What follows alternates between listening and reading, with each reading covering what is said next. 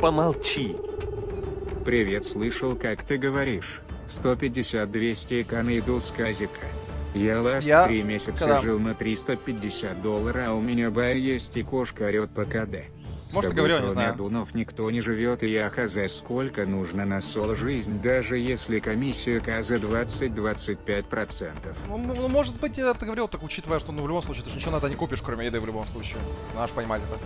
Ты не говорил, что я за месяц все это на еду потрачу. Просто все равно суммы, которые ты назвал, да, ты же ничего на них, кроме еды, не купишь особо.